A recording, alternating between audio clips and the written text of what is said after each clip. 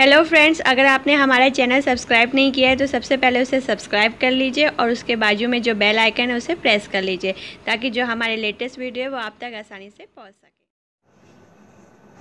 Hello friends welcome to test India मैं हूँ ईशा। आज का हमारा वीडियो है कुकिंग पे, और आज हम बनाएँगे मैगी पकौड़ा। ये बहुत ही अच्छे बनते हैं फ्रेंड्स ये बाहर से क्रिस्पी और अंदर से बहुत ही टेस्टी बनते हैं। मैगी के पकोड़े बनाने के लिए हमने यहाँ दो पैकेट मैगी के लिए हैं। तीन टेबलस्पून बेसन लिया है। एक टेबलस्पून चावल का आटा। एक बाउल प्याज लिया है, जिसको हमने चॉप कर लिया है। तीन हरी मिर्ची ली है, जिसको हमने बारीक काट लिया है। एक बाउल गाजर लिया है। एक बाउल शिमला मिर्च। नमक स्वाद अनुसार लेंगे। आधी चम्मच लाल मिर्च पाउडर। एक चौथाई चम्मच अजवाइन। एक चौथाई चम्मच गरम मसाला पाउडर लेंगे और 200 ml पानी लिया है हमने। अब हम मैगी बनाना स्टार्ट करते हैं। उसके लिए लेंगे हम एक पैन। हमने गैस ऑन कर लिया अब पैन में हम पानी ऐड करेंगे। ये 200 ml पानी है।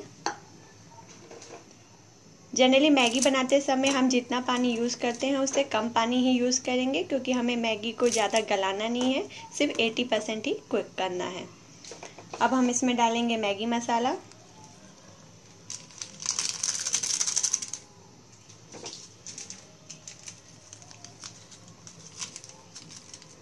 और इसे अच्छे से हम बॉईल कर लेंगे।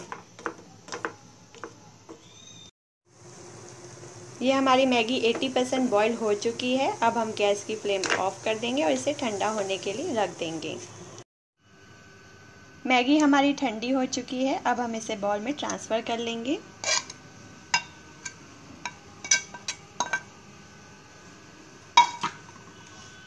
अब हम इसमें डालेंगे शिमला मिर्च, गाजर,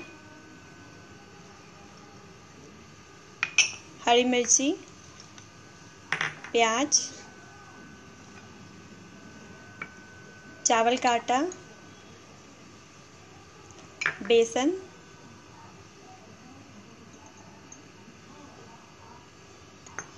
नमक।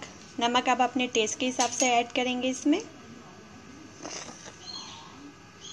लाल मिर्च पाउडर। अजवाइन। गरम मसाला पाउडर। और इन सबको अच्छे से मिक्स कर लेंगे।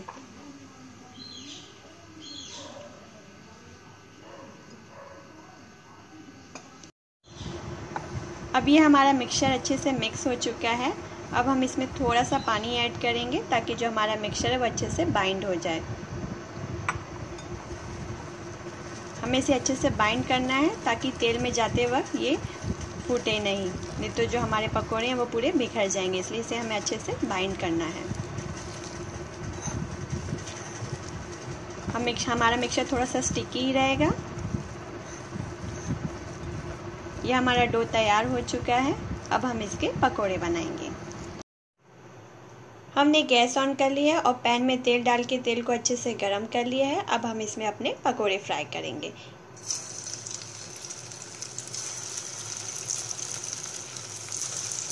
गैस की फ्लेम मीडियम हाई रखेंगे पकोड़े को फ्राई करने के लिए।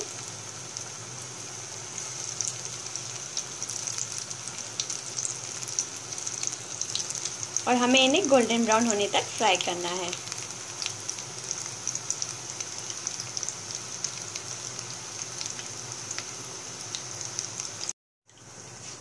और इसे हम बीच बीच में हिलाते रहेंगे।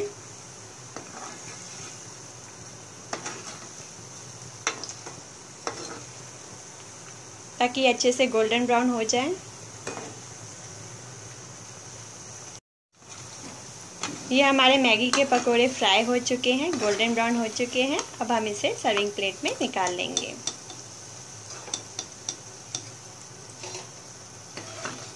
और बाकी पकोड़ों को भी इसी तरह हम फ्राई करेंगे।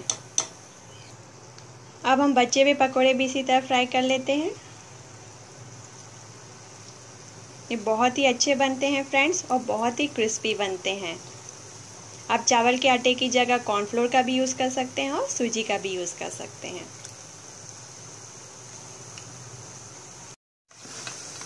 अब हमारे बचे हुए पकोड़े भी फ्राई हो चुके हैं। अब हम इसे सर्विंग प्लेट में निकाल लेंगे। हमारे गर्मा गर्म मैगी के पकोड़े बन के रेडी हैं। ये बहुत ही अच्छे बने हैं और बहुत ही क्रिस्पी बने हैं। आप इसे टोमेटो केचप के साथ, हरी चटनी के साथ खाइए। ये खाने में बहुत ही अच्छे लगते हैं। आप भी इसे ज़रूर ट्राई करें। अगर आपको ये हमारी रेसिपी पसंद आए तो हमारे चैनल को लाइक और सब्सक्राइब करना ना भूलें। Thank you